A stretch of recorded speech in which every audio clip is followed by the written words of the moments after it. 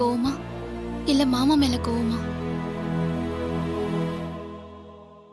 அம்மாவை சமாதானப்படுத்த சொல்லி மாமா உங்களை கூப்பிட்டதுக்கு வரமாட்டேன்னு சொல்லி அவர் அனுப்பி வச்சிட்டீங்களே.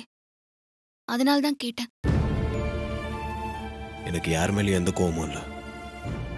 அம்மா விஷயத்துல நான் ஒரு முடிவு எடுத்திருக்கேன். அதனால தான் நான் அப்பா கிட்ட வர முடியாதுன்னு சொன்னேன். என்ன முடிவு எடுத்திருக்கீங்க மாமா?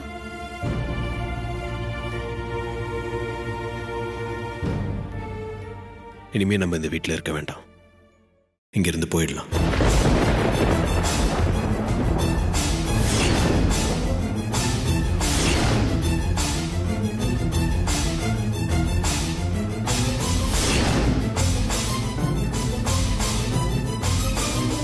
என்ன மாமா திடீர்னு இப்படி ஒரு முடிவு எடுத்திருக்கீங்க?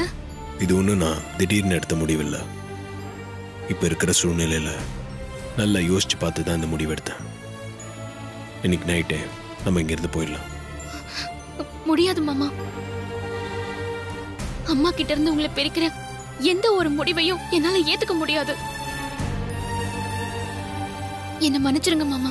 நம்ம கல்யாணத்தை ஏற்றுக்க முடியாதுன்னு அம்மா உறுதியாக சொன்னதுமே நான் இந்த வீட்டுக்கு வரமாட்டேன்னு தானே சொன்னேன். அன்னைக்கு நீ இதே காரணத்தை சொல்லி தான் என்னை நீ வீட்டுக்கு கூட்டிட்டு வந்த. ஆனால் இன்னைக்கு அம்மாவோட மன அழுத்தத்துக்கு காரணமே நம்ம இங்கே இருக்கிறது தான் டாக்டர் சொல்கிறாங்க பிடிக்காத சூழ்நிலையில இருந்து விலகி இருந்தாதான் அம்மாவோட டிப்ரெஷன் குறையும். அவங்க மனசுக்கு அமைதி கிடைக்கும்னு டாக்டர் அம்மாவை வெளியே போக சொல்லியிருக்காங்க. அவங்க எதுக்காக இந்த வீட்டை விட்டு வெளியே போகணும்? அவங்க போகக்கூடாது.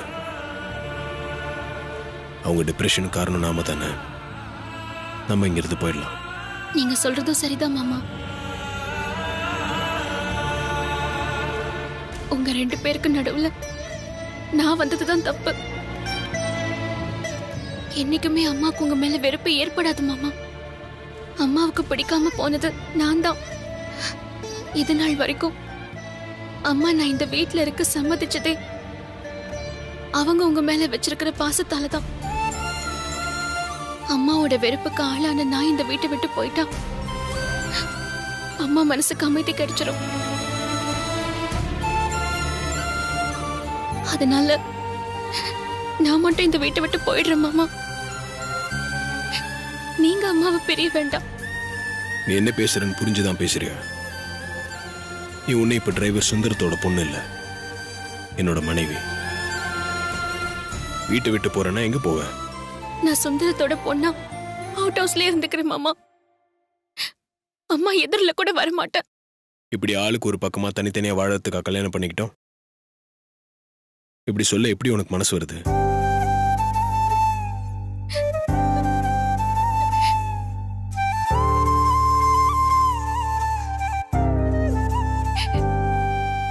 என்ன மன்னிச்சிருங்க மாமா. எனக்கு வேற வழி தெரியல.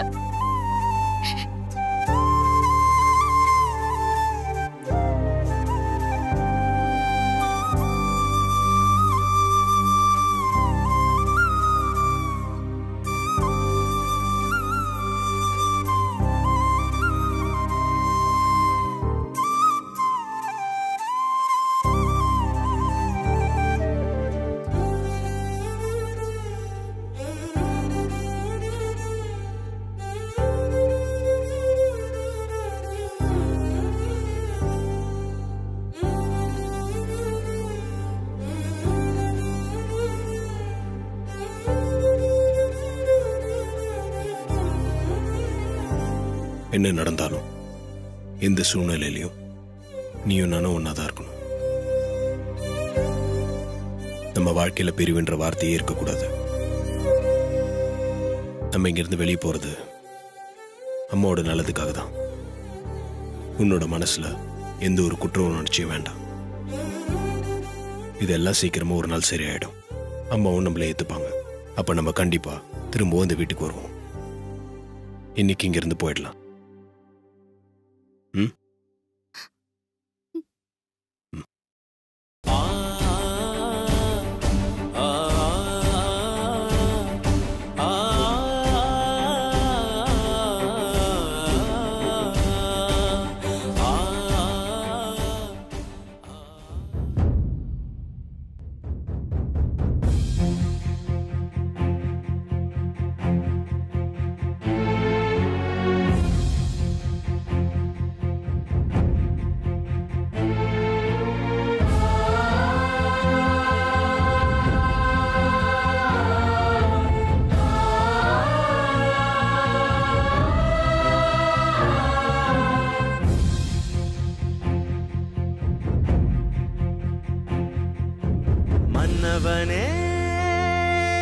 கலங்காதே. எங்கள் தென்னவனே கலங்காதே. மன்னவனே கலங்காதே. எங்கள் தென்னவனே கலங்காதே. உள்ளம் பேசுமோ இங்கு ஊ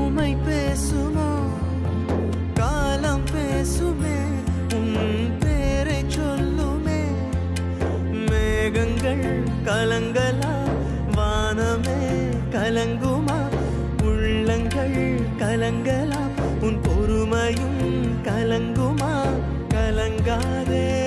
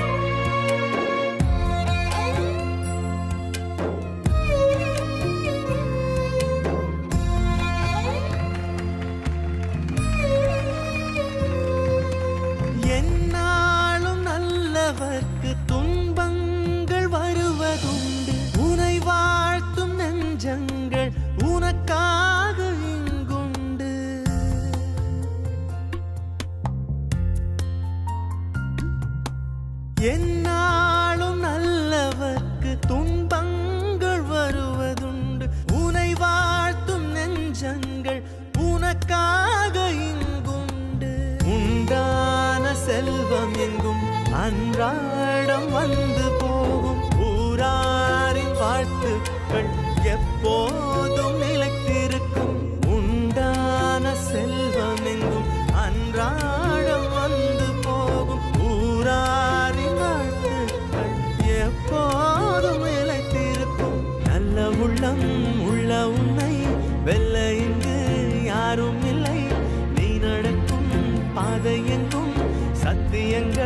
தோற்பதில்லை. கலங்காதே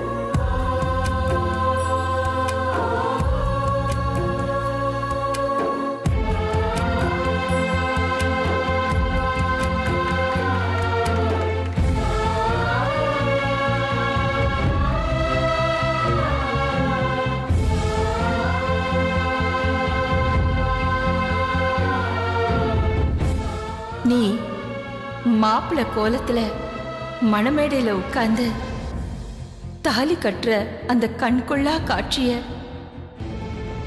நான் எப்ப பார்க்க போறேன்?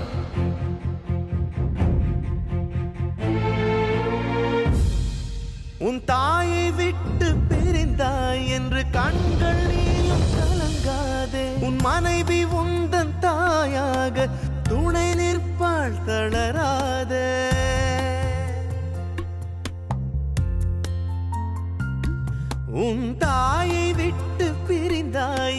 கண்கள் நீயும் கலங்காதே. உன் மனைவி உந்தன் தாயாக துணை நிற்பாள் தளராதே.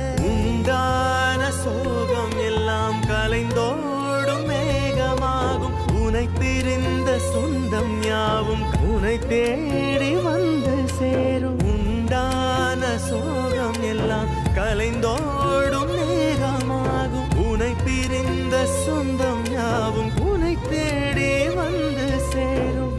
நமக்கான ராஜாங்கம் உருவாகும் நேரம் இது சரித்திரம் உன் பேரை சொல்ல காத்திருக்கும் காலம் இது கலங்காதே ராஜாதி ராஜா.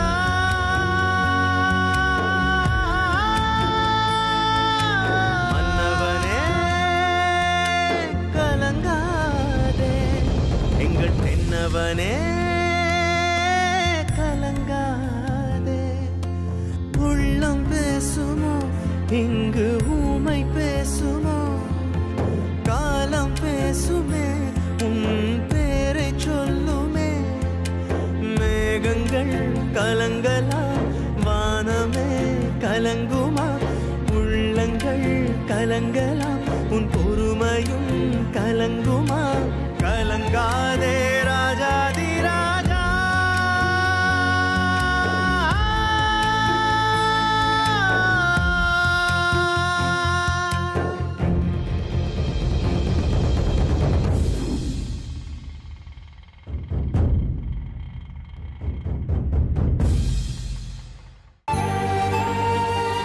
மாமா?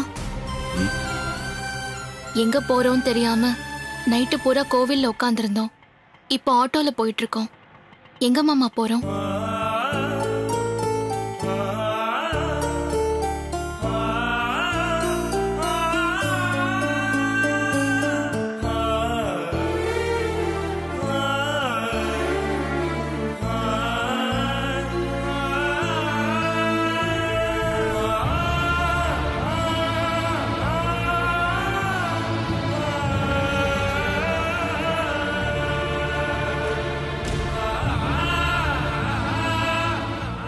போட்டோ விஷயத்துல?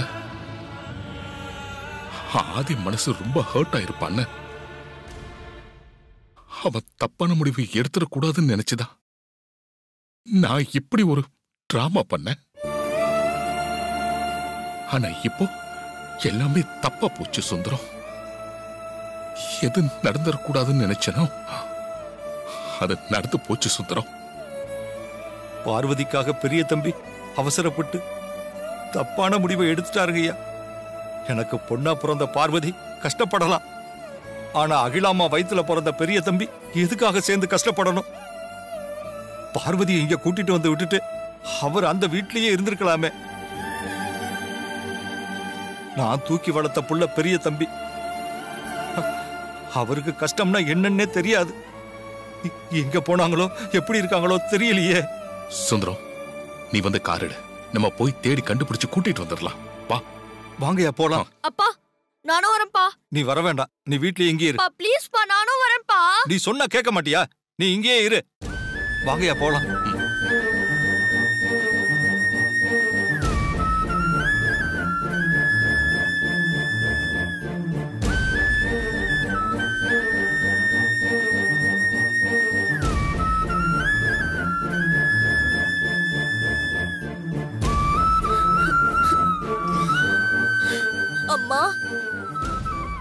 அக்காவும் மாமாவும் இருக்கிற இடத்த அப்பாவும் ஐயாவும் சீக்கிரமே கண்டுபிடிக்கணும். அவங்க ரெண்டு பேரும் திரும்ப வீட்டுக்கு வரணும். அக்காவை என்கிட்ட இருந்து பிரிச்சிடாதுமா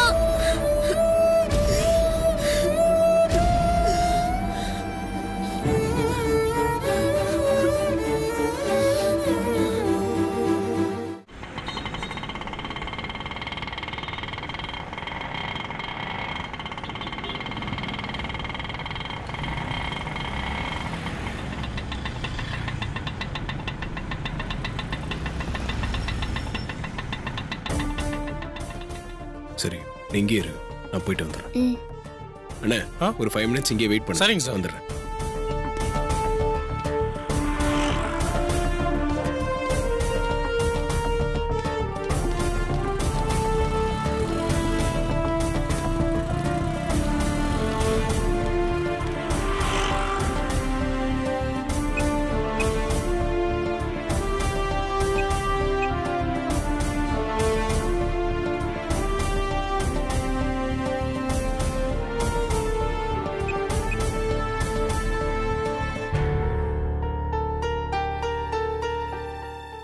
ஹலோ சொல்லுங்க சார்.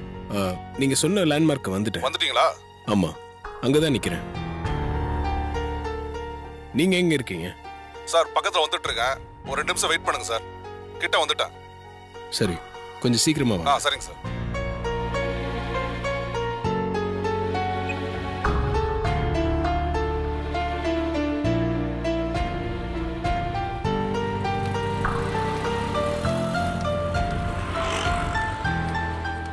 என்னாச்சு மாமா? ஒன்றும் இல்லை உன்னை நான் ஆட்டோவில் தானே உட்கார சொன்னேன். இங்கே எதுக்கு வந்த? நீ போய் ஆட்டோவில் வெயிட் பண்ணு போ. இல்ல வேண்டாம் மாமா. நான் இங்கே நிக்கிறேன். புரோக்கர் கால் பண்ணியிருக்கேன் வந்துட்டு இருக்காரு.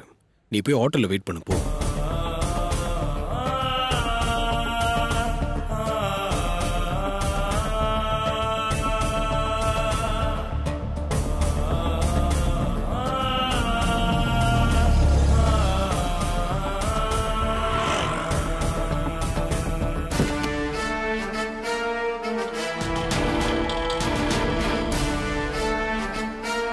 ஹாய் ஆதி.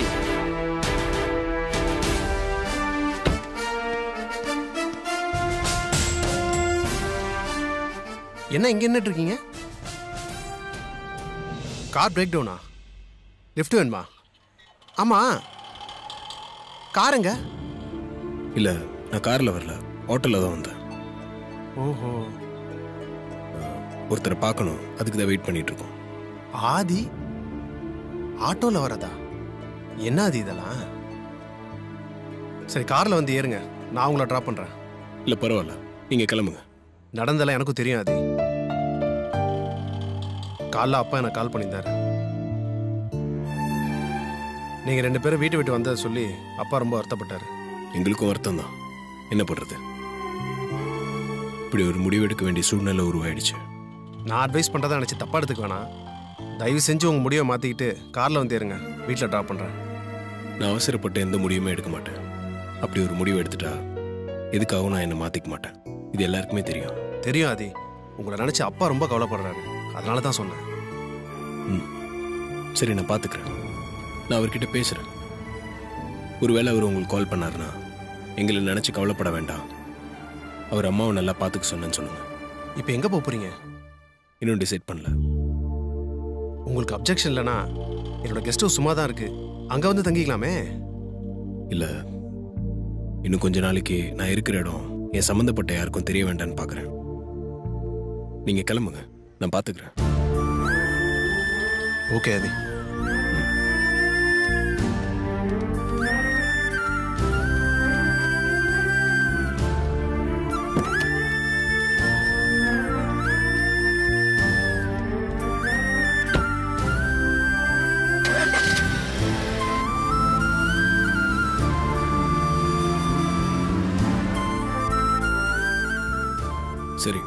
சரி நீ ஆட்டோவில் போய் உட்காருப்போம்